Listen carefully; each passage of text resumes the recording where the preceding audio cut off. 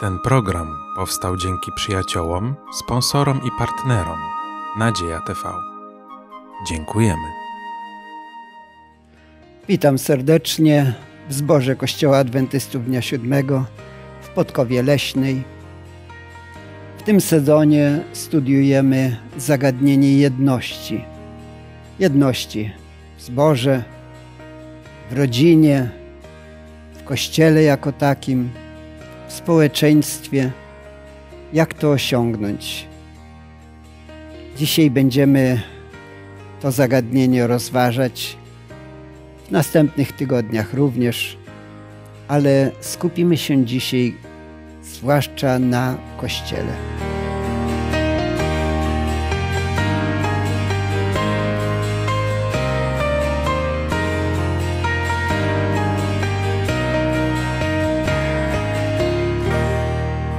Nasze rozważania będziemy prowadzić w grupie. Obok mnie siedzi Zbyszek, Estera, Janusz. Ja mam na imię Julian. Chcemy czynić wszystko z pomocą Bożą. Pragniemy, żeby Duch Święty był naszym przewodnikiem i najlepszym nauczycielem.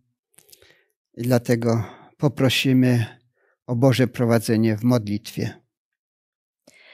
Dobry Boże, dziękujemy Tobie za to, że mogliśmy się zebrać w tej grupie, aby studiować o jedności, która jest tak bardzo ważna dla nas wszystkich, dla Twojego Kościoła.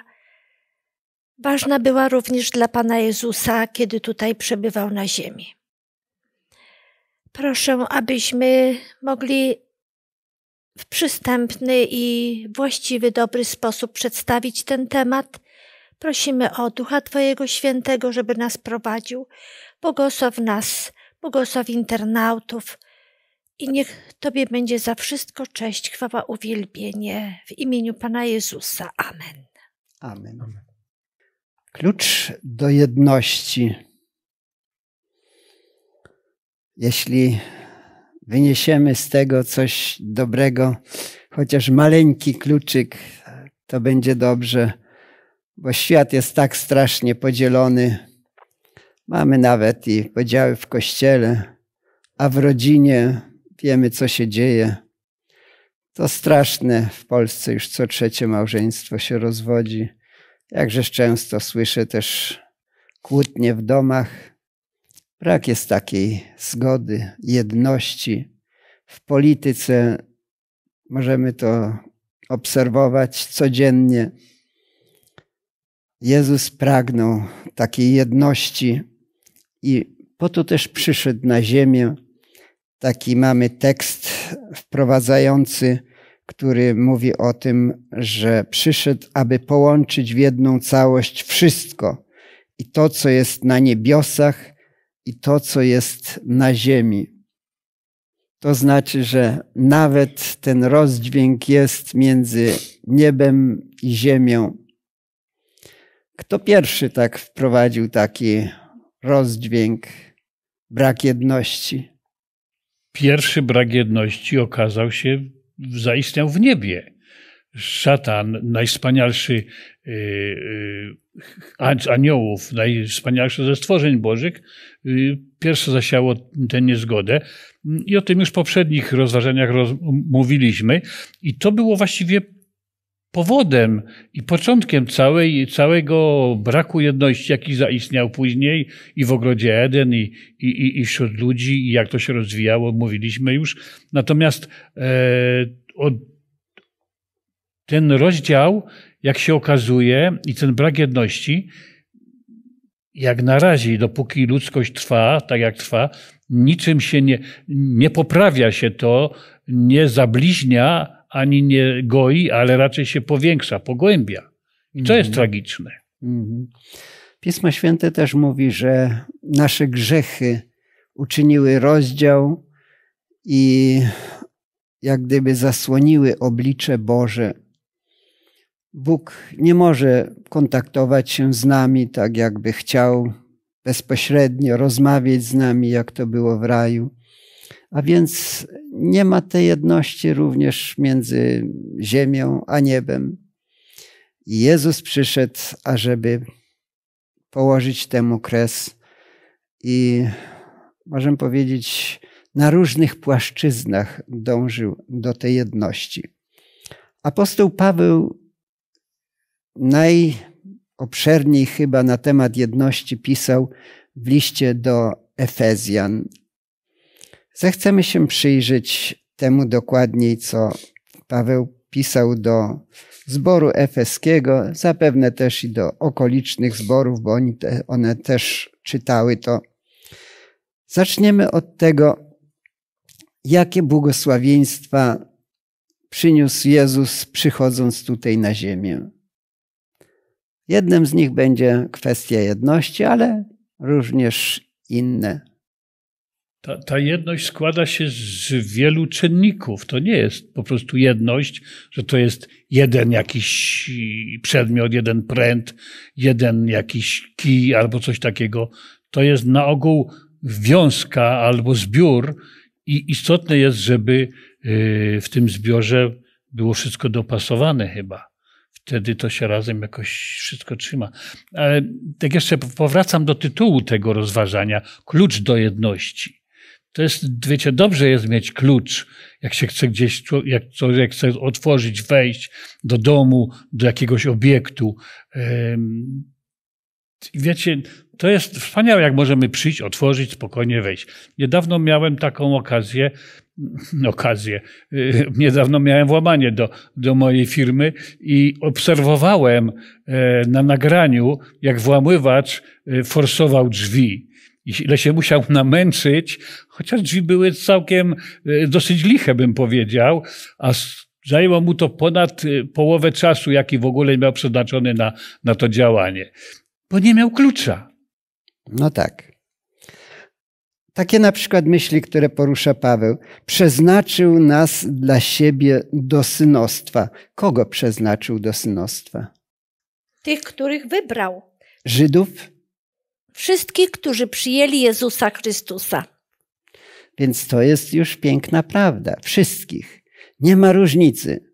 A więc czy to z pogan, czy z Żydów, mówi wszystkich nas wybrał do tego, żebyśmy e, byli uznani za dzieci Boże, nie tylko Żydzi jako wybrani, bo tak się mówiło, że to są Izraelici, dzieci Boże, a poganie to dalecy byli. Nie, wybrał nas wszystkich, mówi Paweł.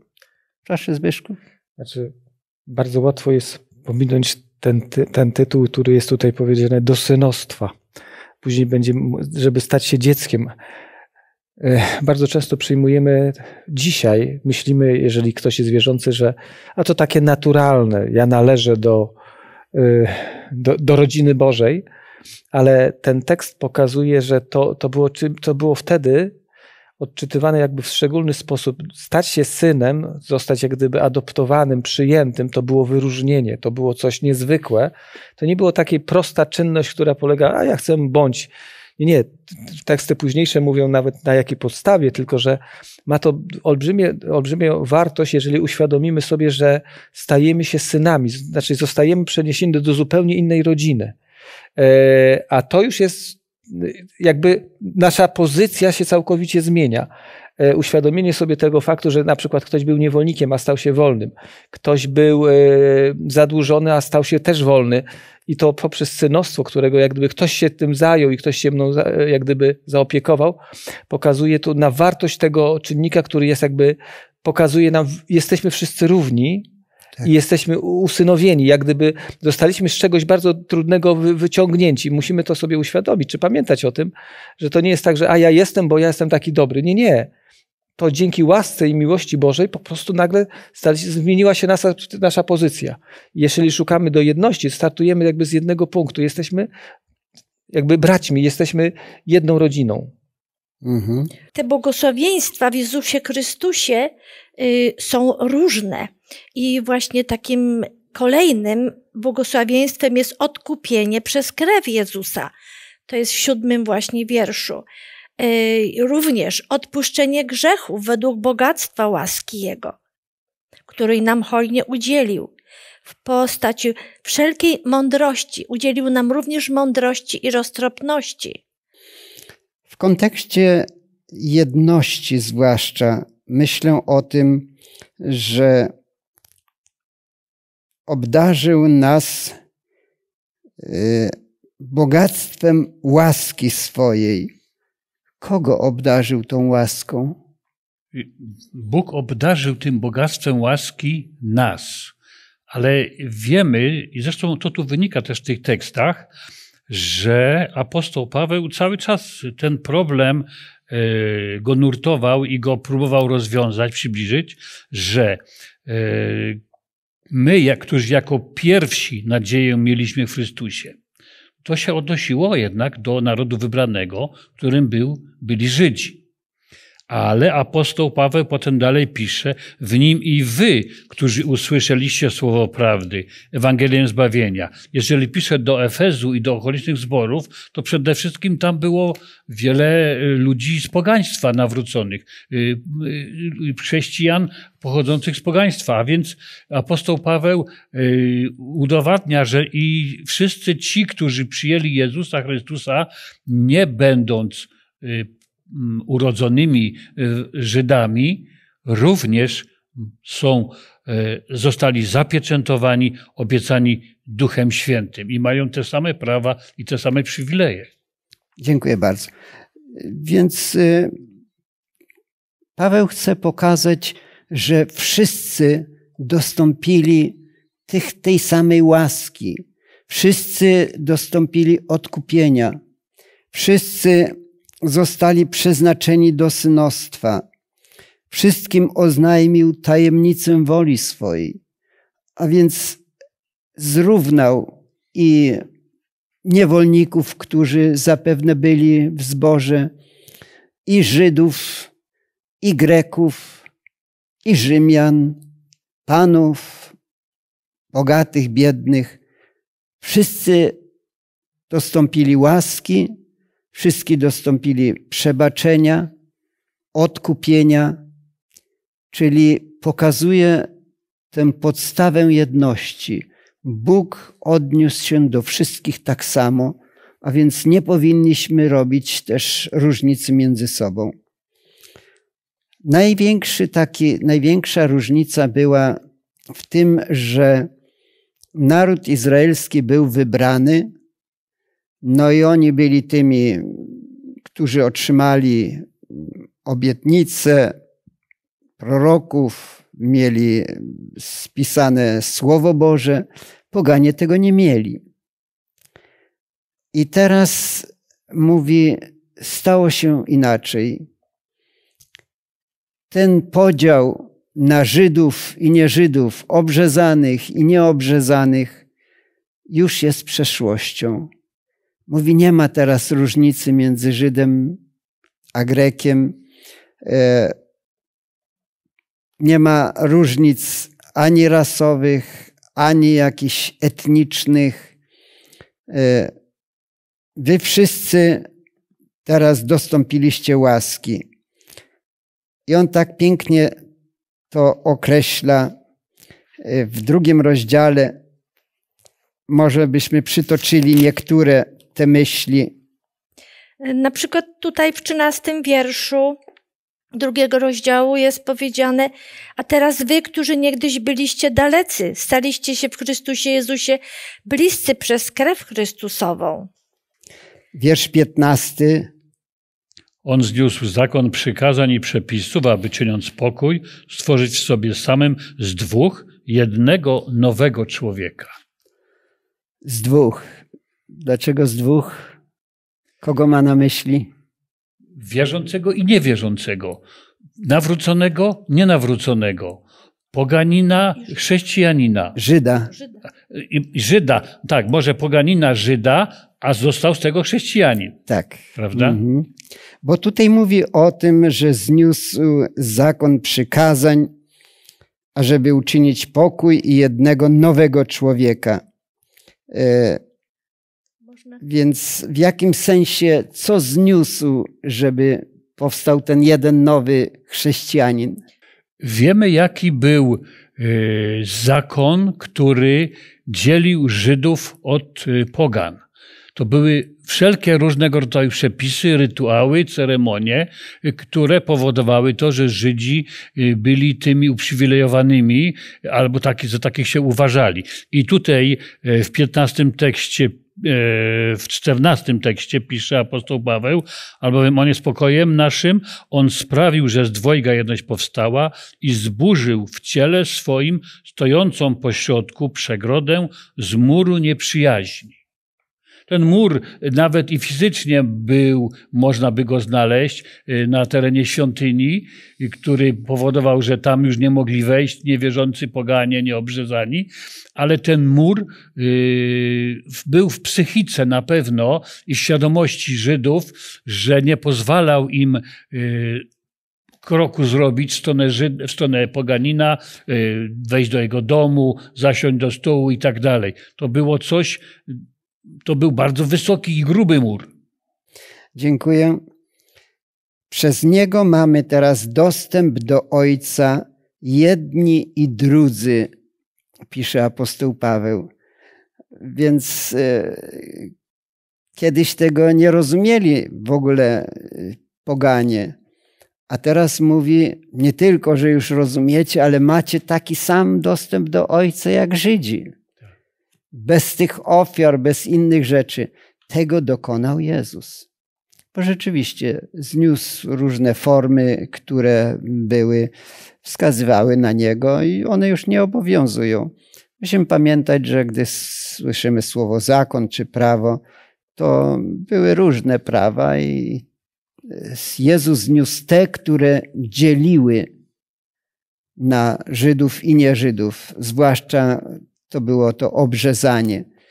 Pogan nazywano nawet nieobrzezańcami. Żydzi byli obrzezani. Poganie to nieobrzezańcy. A teraz Paweł mówi, wszyscy mają dostęp do Boga, wszyscy mogą dostąpić synostwa. Ci, mówi, którzy niegdyś byliście dalecy, staliście się teraz bliscy. Także to dzięki Jezusowi. Pomyślmy o tym, jak wyglądało społeczeństwo w tamtych czasach i jakiej reformacji dokonał Jezus przez swoje nauczanie, przez swoje życie, przez to, co uczynił na krzyżu. Proszę bardzo, Zbyszku.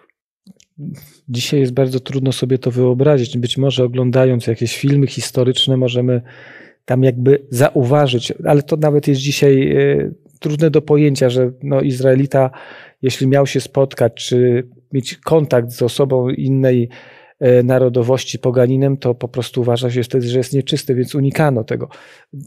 Dzisiaj to nawet bardzo trudno sobie taką sytuację wyobrazić, że ktoś może nam nie podać ręki, nie przywitać się tylko dlatego, że ja jestem, e, mam inne przekonania, czy inne poglądy, czy inaczej wierzę. Więc e, obecnie świat się zupełnie zmienił. Ja się zastanawiałem, inaczej, jak dzisiaj, czy dzisiaj istnieją tego rodzaju mury, które mogłyby w pewien sposób można by porównać do tego, co wtedy istniało. I tak sobie pomyślałem, czy dzisiaj istnieją olbrzymie animozje, na przykład przybywają uchodźcy i spotykamy się z kimś, kto jest zupełnie innego wyznania, innego koloru skóry. Jego język jest taki troszeczkę łamany i on nie do końca rozumie. Jego wychowanie i kult i zwyczaje, które stosuje, są zupełnie dla nas niezrozumiałe i, e, i możemy wtedy po prostu, może wtedy uświadomić sobie, że e, tego człowieka nie rozumiemy i wręcz nas to odpycha lub obawiamy się jego. Czujemy jakby pewną obawę, lęk. E, tak sobie dzisiaj myślę, że podobnie, e, znaczy to zależy, ale jak się czuli poganie spoglądając, spotykając się z Żydami, jak się czuli Żydzi spotykając się, to naprawdę było przełamanie olbrzymich barier. Tak jak dzisiaj myślę, że jak się spotykamy z kimś, kogo ani kultury, ani języka, ani wygląda, ani zwyczajów nie rozumiemy i one są dla nas obce. To jest, no to tak otworzyć się na taką osobę i być otwartym jest bardzo trudno. Dalej apostoł Paweł pisze, jak powinniśmy się odnosić do ludzi, których nie znamy, języka, kultury i tak. Może mają inne zachowania.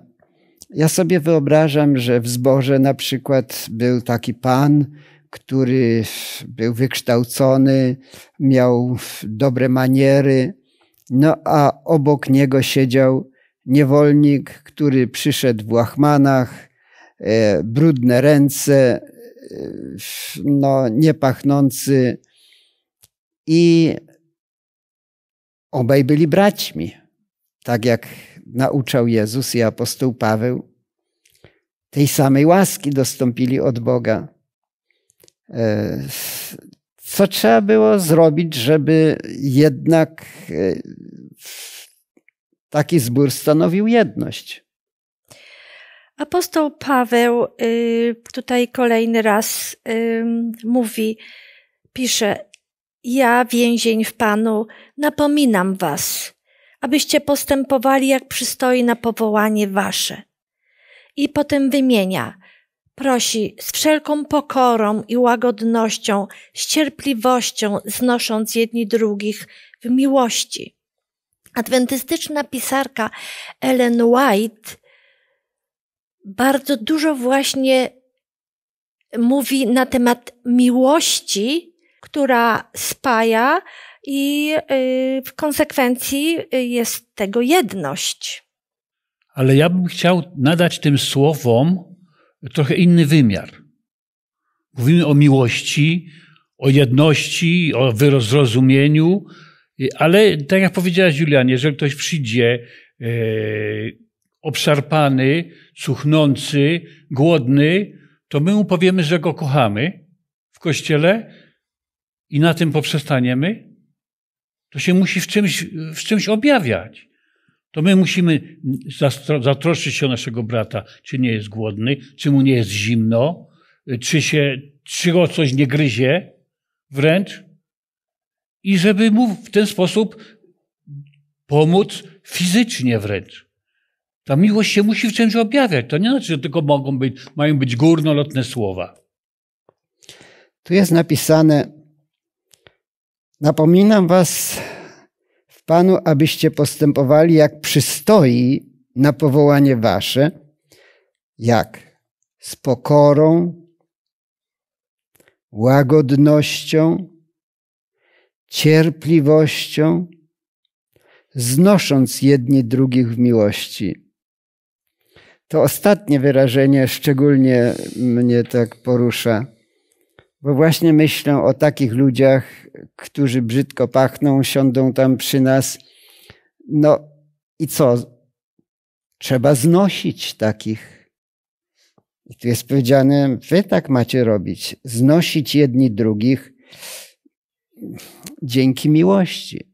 Jeśli naprawdę się kocha, to pomyśli się, to jest mój brat. On się znalazł w trudnej sytuacji. To jest niewolnik może, albo ciężko pracował, albo nie rozumie wiele rzeczy, może pijany przyszedł, ale to, to nie jest świnia. To jest dziecko Boże, to jest mój brat. I znosić takich i, jak to jest powiedziane, z wszelką pokorą odnosić się i łagodnością. To chyba nie jest takie łatwe, ale jeśli sobie uświadomimy, że my wszyscy jesteśmy grzesznikami, i moglibyśmy być na miejscu tego czy innego człowieka. Różnie powinniśmy sobie to uzmysławiać, ale tak jak Paweł napominał, mamy się odnosić z cierpliwością, łagodnością, pokorą i wtedy zachowamy jedność. Jak to praktycznie wygląda w naszym życiu? gdy chodzi o, o takie różne przypadki, jak dążymy do jedności? Łatwo wam to przychodzi? Najłatwiej, myślę, dążyć do jedności, albo najczęściej dążymy do jedności przez to, że chcemy mm, udowodnić wszystkim, że to my mamy rację i że nasze pojęcie jedności jest najlepsze. Że przecież dlaczego nie robicie tak jak ja i wszyscy będziecie szczęśliwi, będziemy jedno, będzie dobrze. Takie jest ludzkie dążenie do jedności. I, wiemy, co ono powoduje. Że, że się łokciami rozpychamy, przepychamy kuksańcami byle do przodu, do jedności. Proszę. Myślę, że warto poruszyć e, również e, to, jak odnosimy się do naszych współbraci w kościele, w zborze. Jak traktujemy nasze dzieci, e, czy nie wszyscy są tacy idealni jak my, ale wszyscy chcemy być kochani i miłowani i chcemy, żeby się do nas ludzie odnosili w delikatny i taktowny sposób. I to jest właśnie kluczem do, do rozwijania miłości, która prowadzi do jedności. Zbyszku? Jak spoglądam na tekst e, Pawła, Paweł koncentruje się na, takim, na takiej ciekawej rzeczy, jedno ciało. Rozpoczyna ten fragment i on się w zasadzie później jest rozwijany przez ten króciutki fragment w czwartym rozdziale. E, ale dlaczego, dlaczego się zatrzymać chciałbym na moment na tym?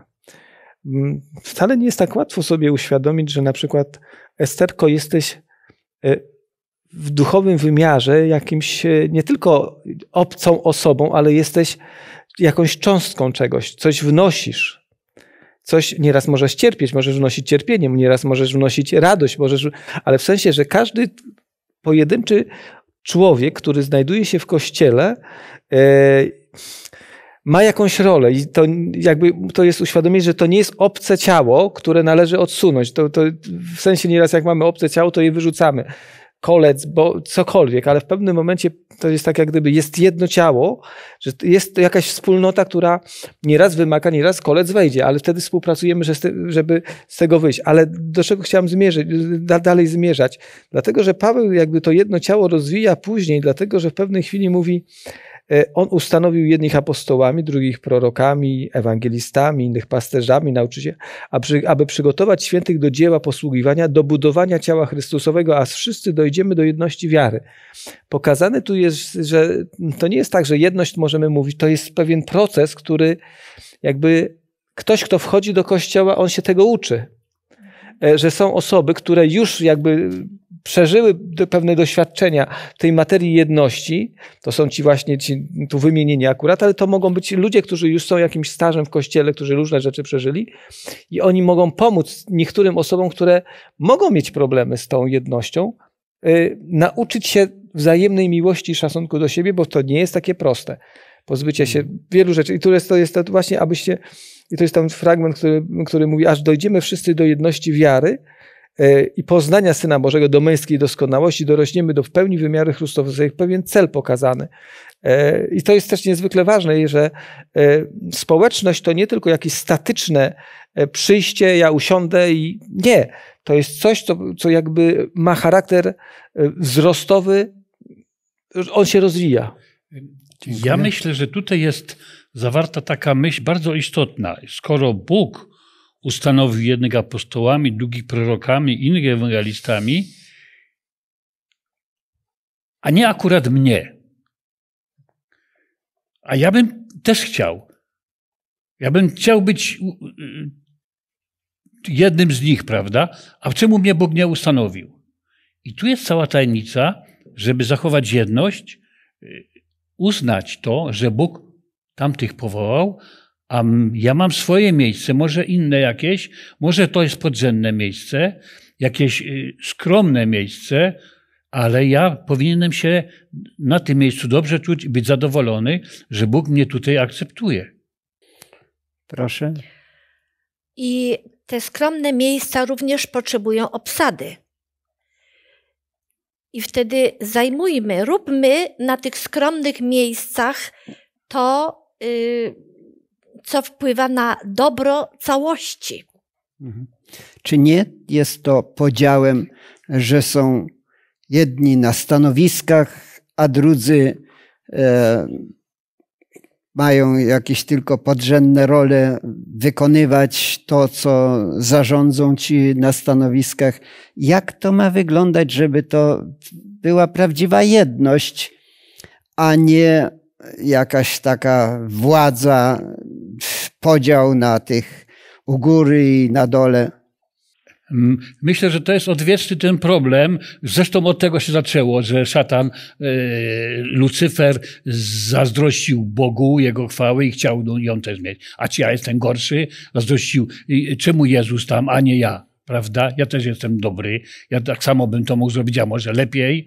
I dlaczego nie ja? I tak, bądźmy szczerzy, każdy z nas tak myśli. Albo myślał wiele razy w życiu. I trudno się jest tego oduczyć. Mm, apostoł Paweł nam tu podaje różne e, sposoby, jak, jak to robić, żeby, żeby prawda tego nie było. E, no ni niestety nie jest to łatwe. Każdy z nas jest egoistą i, i, i zawsze to gdzieś wychodzi. Żeby to się tego oduczyć, tego egoizmu, to naprawdę jest, jest trudne. Ale tutaj e, w piątym rozdziale są takie wspaniałe teksty, gdzie apostoł Paweł mówi, jak mamy postępować od 15 wiersza. Baczcie więc pilnie, jak macie postępować. Nie jako niemądrzy, lecz jako mądrzy, wykorzystując czas, gdyż dni są złe. Dlatego nie bądźcie nierozsądni, ale rozumiecie, jaka jest wola pańska. Nie upijajcie się winem, które powody rozwiązłość, ale bądźcie pełni ducha. I teraz jest najważniejszy tekst według mnie. Rozmawiając z sobą przez psalmy i hymny i pieśni duchowne, śpiewając i grając w sercu swoim Panu. Nie mówi, że mówiąc wspaniałe kazania, nie rozważając e, Słowo Boże, ale śpiewając i grając.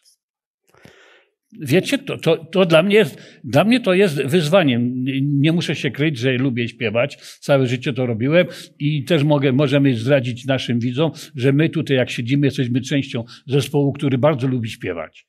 I często, mhm. jak jedziemy do jakiegoś zboru, to więcej śpiewamy niż mówimy. I, i, i, I cieszymy się z tego, że e, muzyka ma coś w sobie takiego, że potrafi e, Mimo, że, że każdy ma w niej jakiś swój dział, że mogą być różne tony, może być harmonia, może to być wszystko scalone razem.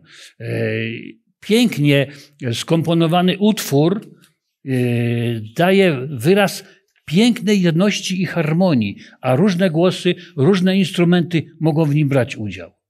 Dziękuję.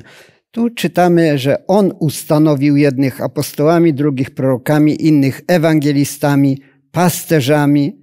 Pasterz to inaczej polskie takie słowo pastor, nauczycielami. E, no, u nas są wybory i kogoś e, wybierze się na przykład, że był nauczycielem. E, czy możemy powiedzieć, że to jest ustanowienie Boże? Albo ktoś jest starszym zboru, czyli prezbiterem, nie wiem, porównać to można do, e, e, do apostoła może, albo ewangelisty. No, różne są urzędy. E, jak mają się zachowywać ci, którzy mają te odpowiedzialne urzędy, powiedzmy pasterz, czy pastor, czy ewangelista? Jak Jezus uczył, jak mają pełnić swoją funkcję? Mają, myślę, że tutaj takim ważnym egzaminem jest moment, y, tak jak powiedziałeś, że to są drogą wyborów, na jakiś czas wybierane osoby. Ważny jest moment, jeżeli na przykład nie zostaną wybrani ponownie, jak wtedy się czują, jakie wtedy zajmują stanowisko.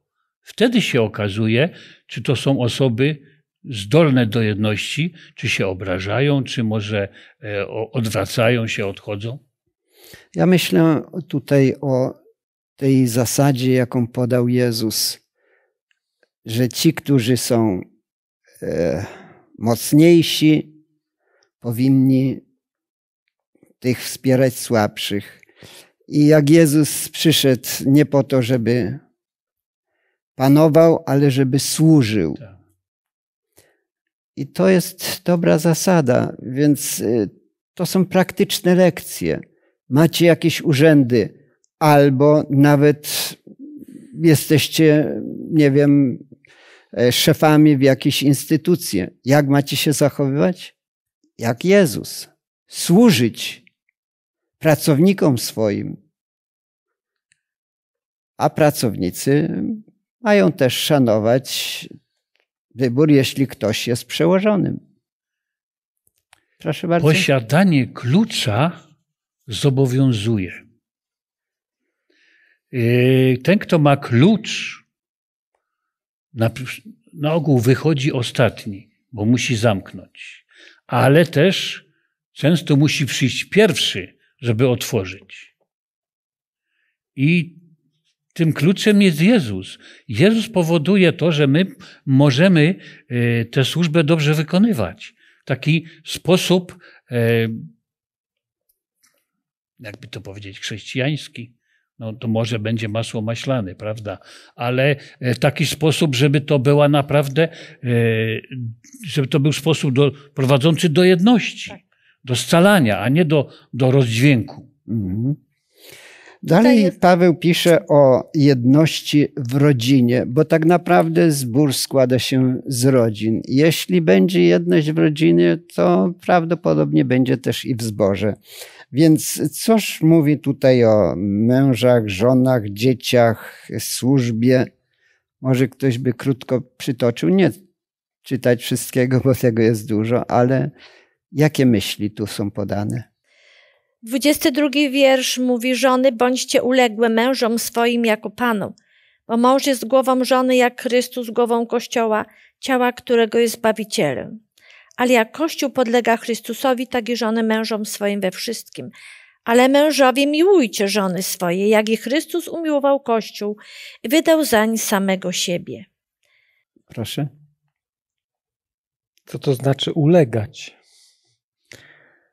Być tolerancyjnym, poddanym, poddawać się. Znaczy, dzisiaj to jest słowo, które E, jest troszkę tak. Wyszło z obiegu. Tak, ono jest. E, być uległym e, nie jest słowem popularnym. Znaczy, w sensie tak jest bardzo negatywnie odbierane. Jeżeli ktoś jest uległy, to jest słaby. Myślę, że to nie miał, nie miał na myśli te, tego Paweł, kiedy pisał te słowa, więc myślę, że trzeba by użyć jakiegoś innego dzisiaj słowa. Być wyrozumiałym, być cierpliwym. E, nawet wcześniej, we wcześniejszych fragmentach, e, ja mów, tak, Paweł napisał takie słowa, które może niech nie pojawia się gorycz, zapalczywość, gniew, krzyk, złorzeczenie. To jest taka reakcja e, na, na naszego, naszego, naszej psychiki, kiedy jest raniona. A tutaj mówi, bądźcie jedni dla drugich uprzejmi, serdeczni, odpuszczając sobie wzajemnie. Więc jakby szukając tego klucza, to są proste rzeczy. To, jakby nie, nie, nie dać ponieść się pewnym i emocjom, ale i też e, po prostu nieraz zamknąć usta. I mówiąc o znoszeniu, to właśnie tak sobie myślę, właśnie, czy to nie jest znoszenie. Ktoś nam coś powie, nie odpowiemy mu tym samym. E, e, nie będziemy podnosić głosu. Chociaż to jest w naszej naturze, bo mamy taką tendencję. Jak ktoś nas naciska, to my odpowiadamy tym samym. Ale czegoś innego chce nas nauczyć tutaj mm, Paweł. I mówiąc jakby w relacjach rodzinnych, czy nawet w tych y, między sługą, przełożonym, jakby ta sama zasada, szacunek dla drugiego człowieka, e, zrozumienie, wyrozumiałość, nawet i przebaczenie, jeżeli on błądzi. Dziękuję. Musimy pamiętać, że wszyscy jesteśmy inni i Bóg oczekuje od nas współpracy, czasami zamknięcia ust, uniżenia się, służenia nawet tym, których nie lubimy. Jezus mówił, żebyśmy się modlili za nieprzyjaciół. To wszystko nie jest zgodne z naszą naturą, a jednak tego oczekuje od nas Jezus Chrystus. Mówił, co byście chcieli, żeby wam czyniono, to wy czyńcie to pierwsi powinniśmy z tym wychodzić. A ponieważ to nie jest w naszej naturze, to ja nie widzę innej możliwości jak szukanie w modlitwie e, i błaganie Boga o to, żeby dał nam cierpliwości, dał nam pokory, bo to jest rzeczywiście droga do jedności. Żebyśmy nie patrzyli na e, jakiegoś imigranta gdzieś z krajów, nie wiem, azjatyckich czy afrykańskich, czy jakiś jako na gorszego. Więc e, naprawdę to są wskazówki, tak mamy postępować, ale siły możemy brać tylko od naszego Boga i o to powinniśmy się modlić. Ja myślę, że będzie dobrze też, gdy teraz się o to pomodlimy. Poproszę brata Janusza. Panie Jezu, drogi nasz Boże, do Ciebie przychodzimy teraz jako ludzie, którzy tak ciężko dochodzą do jedności, do uległości i w których nasza natura ludzka, grzeszna często odzywa się i chce wziąć górę. Do Ciebie się zbliżamy, aby prosić o Twoją pomoc, o Twojego ducha miłości i pokory dla nas, dla naszych bliskich, dla całego naszego Kościoła. Kościoła Twojego, Boże, który jest prowadzony przez Ciebie i którego Ty jesteś kluczem do jedności, do zbawienia. Prosimy Ciebie, Panie, pozostań z nami, z naszymi słuchaczami i wszystkich nas prowadź swoją drogą do niebieskiej Ojczyzny. Amen. Amen. Amen. Serdecznie zapraszam na kolejne studium Słowa Bożego, też pod kątem jedności.